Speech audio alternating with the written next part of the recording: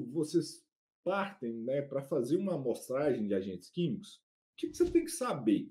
E é algo que eu menciono muito dentro do treinamento do método HO Fácil. Antes de você sair para fazer a amostragem, eu bato na tecla, ensino, falo demais. Você tem que fazer o quê?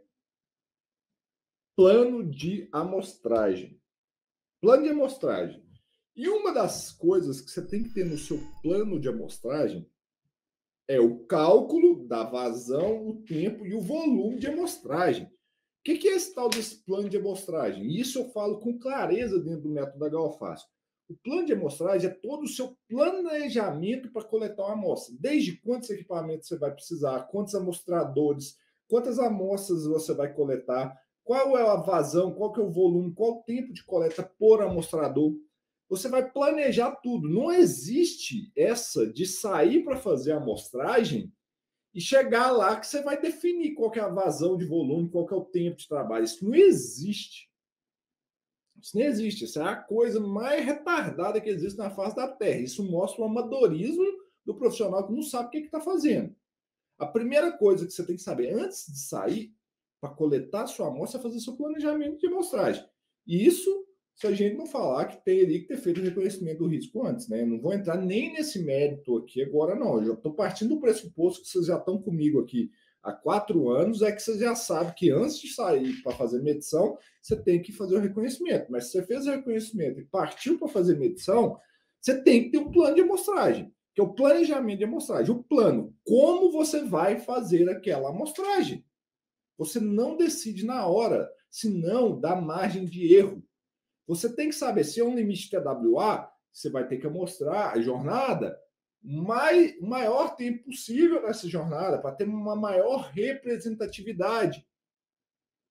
Se você tem um limite do tipo média ponderada no tempo, você tem que focar na jornada de trabalho. Se tem um limite stealth, você tem que fazer uma amostragem de 15 minutos. Um limite teto, uma amostragem instantânea. Isso você tem que saber antes, né? Chegando lá na hora, você não, como que eu vou fazer? Não, inclusive você tem que ter um plano de amostragem, inclusive para pedir uma cotação no laboratório. Você precisa saber quantas amostras você vai utilizar, quantos amostradores você vai coletar. E o cálculo da vazão, do volume do tempo de amostragem, intuitivamente é obrigatório estar nesse plano de amostragem. Se você não sabia isso, se não te ensinaram isso na sua formação, no mercado de trabalho, fica sabendo que você tem que saber isso. Senão, você vai ficar inseguro. Você vai ficar com medo. Você vai ficar perdido sem saber o que fazer. Porque se você não tem um plano, como é que você sabe aonde que você quer chegar? Você tem que ter um planejamento mínimo. Senão, isso é coisa de amador, de profissional que não passa segurança naquilo que está fazendo e, consequentemente, tem menos resultados. Então, eu falei um pouco de plano de amostragem para você. Quando você vai lá fazer sua amostragem, você presta atenção aqui, você tem que ter o seu plano de amostragem. Você já entendeu isso, né? Aí, o que, que acontece? Aí, você vai lá, você precisa definir qual que é a vazão de coleta da sua bomba. Mas quem aqui, aqui, ó, eu quero trucando vocês aqui. Eu quero que vocês me falem aí o que, que é uma vazão. Vocês têm o conceito de vazão na cabeça? Ah, eu tenho que fazer uma amostragem numa vazão de 2 litros por minuto. Você sabe que raios é esse trem dessa vazão? Que de acho que é uma vazão?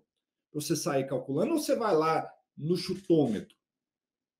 Você vai lá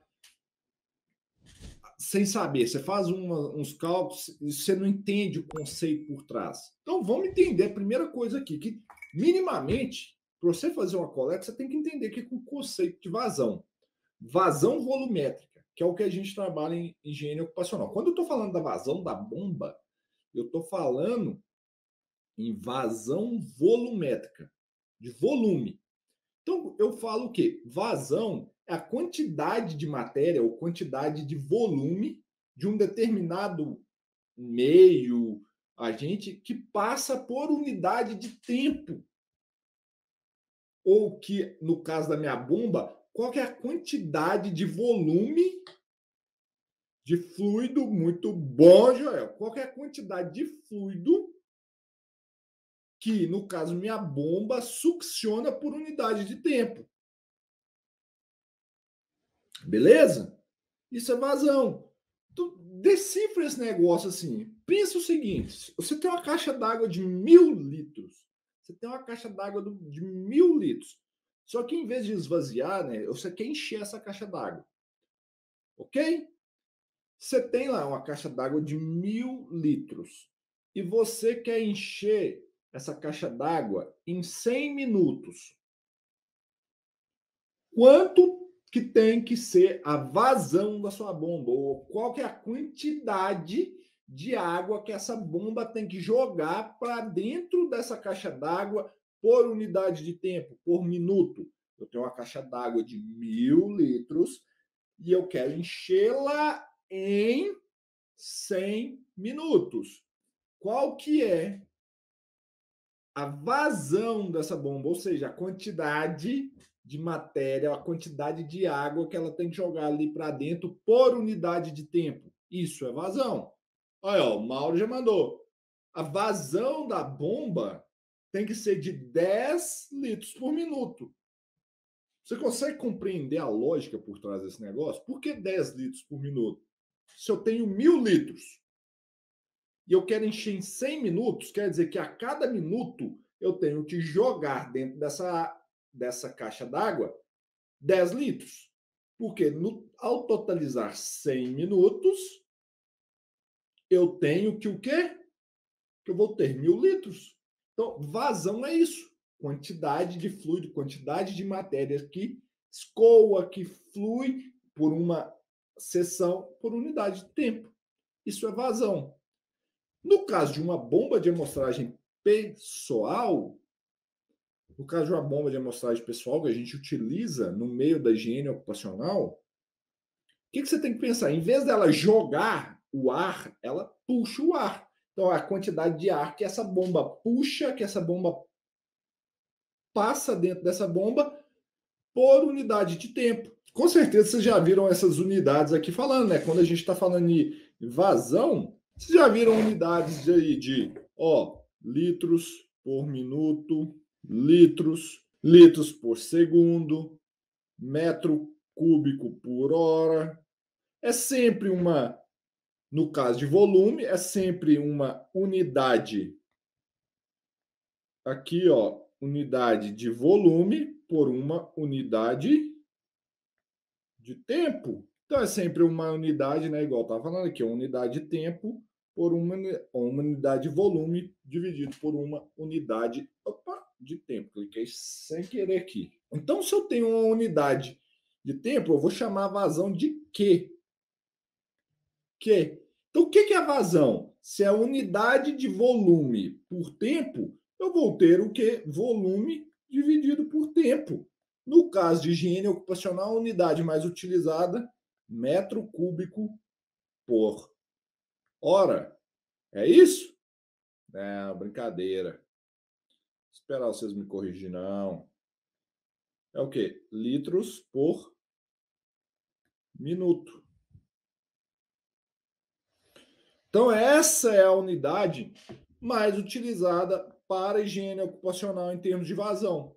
Então, o que quer dizer quando eu tenho uma bomba, por exemplo, uma um, um Q, né? Vou chamar aqui o que quer dizer uma bomba em um, um Q que é igual a 2 litros por minuto? O que, que isso quer dizer? Quando eu estou trabalhando dessa forma, quer dizer o quê? Que essa bomba está succionando a cada minuto, a cada minuto, ela succiona 2 litros. Então, passou um minuto, ela succionou 2 litros de ar. Passou dois minutos, ela succionou o quê? 4 litros de ar. E assim sucessivamente. Está fazendo sentido isso que eu estou apresentando para vocês? Vocês estão começando a conseguir compreender de uma forma simples e sucinta para não ficar perdido no ambiente de trabalho? Se você não souber fazer isso aqui, esquece de você fazer a amostragem. Sendo muito sincero e realista com você. Esquece, nem tenta, nem vai fazer a amostragem, não, porque você vai dar merda. Vai dar merda, assim, dá, dá grande. Tá? Então, isso daqui é um passo importante que você tem que entender.